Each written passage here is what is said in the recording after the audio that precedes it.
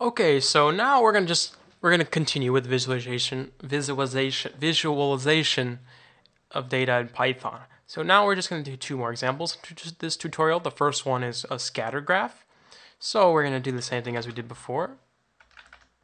We're going to fig set our figure name, figure six this time, plt.figure, defining the figure object as scatter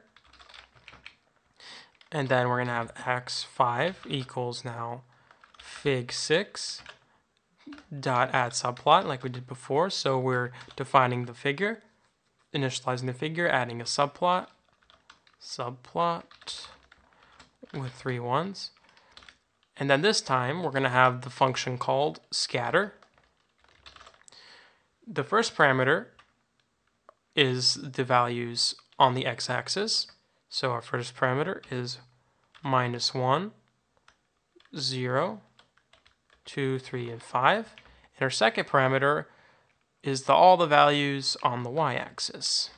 So we're going to have 2, 1, 3, 0, uh, 0 0.5, my bad, not 0, 4, and that's, there we are. And then we're going to plt dot show. And there we go. There's our scatter graph. Now, so if we modify our scatter graph by adding two more parameters on, one is list and the other is color, then we get a bubble graph. So we're going to do the following. So we're going to have a list here. So here we go.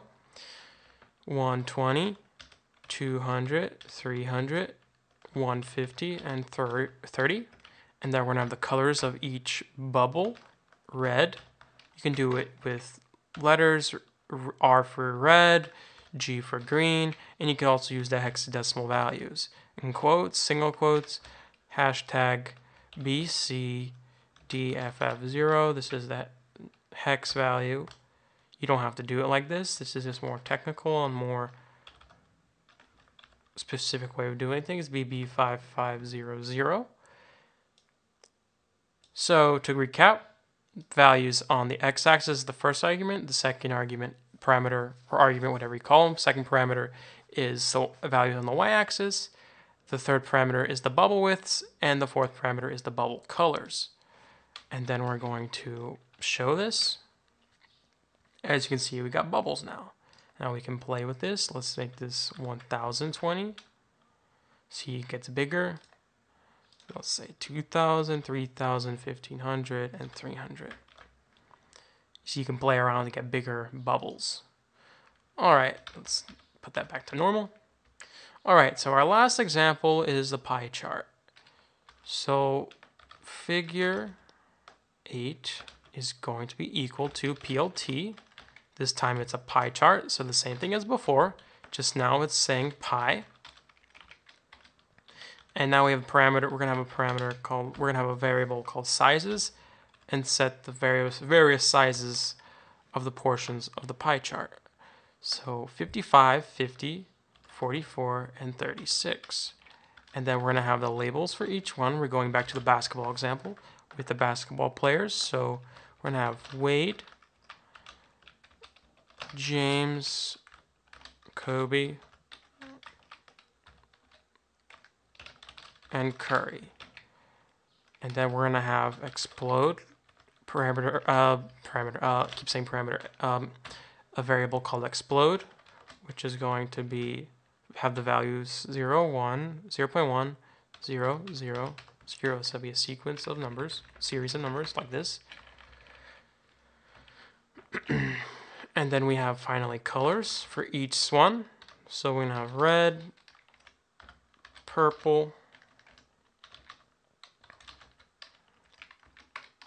and then we're gonna have yellow then finally oops I should put that in quotes. Yellow and blue. So instead of um so you're gonna see in the plotting plt.pie we have several parameters. So our first one is sizes which is the list of parts. That's our list of parts is the first parameter which is this and then we have explode, which tells us if the parts are separated from the whole and by how much. So instead of actually writing everything in the arguments, we're doing we're defining the variables beforehand, so it's easy to write. So explode equals explode. Then we have the labels, which are just the part names, pretty simple. Labels equals labels. And then we're going to have the colors, which is obviously just the colors of the parts. Colors equals colors. And then we're going to have auto PCT, auto, not all caps, auto PCT with, that's not right, auto PCT, which sets the format to the output in percentages. So we're going to do the following in quotes.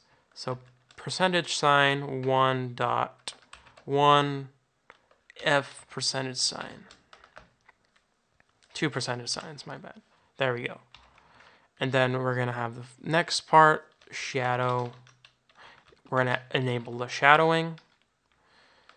And then the starting angle, start angle equals 140.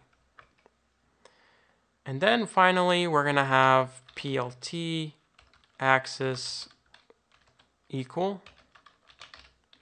If you want to look in the details for this, you just refer to the, the documentation for this library, and finally show. And we had the bubble graph from before, and colors. I had colors, color, not colors.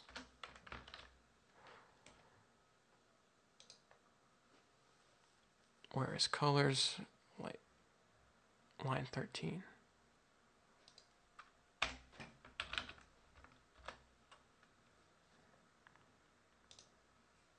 Blue is not defined. Oops, I see I keep running into mistakes here. My mistake. My bad. I'm sorry, guys. All right, so here we go. Oh, there it is. So we had the shadowing.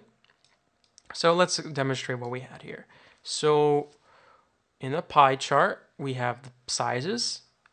We have the explode, which is the separation from this explode 0.100. So these aren't apart. This one is and we have the labels, the their names, we have the colors, we have the percentages displayed, and we have the shadowing, and we have the starting angle, which is a little tilted.